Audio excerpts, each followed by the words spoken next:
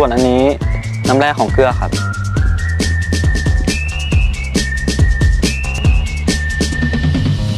ขอบใจนะ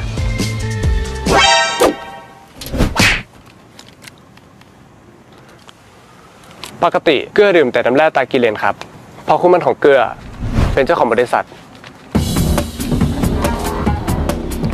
คู่มั่นเหรอ ใช่ครับ คู่มันของเกลือเป็นเจ้าของน้ำดื่มตากิเลนครับ แบบนี้กูก็มีสิทธิ์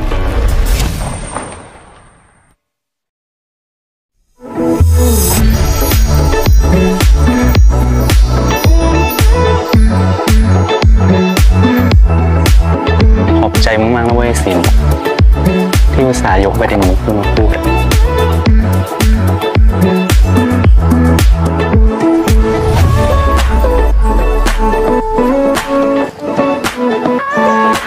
ขนาดนี้ไม่จูบกันไปเลยวะจริง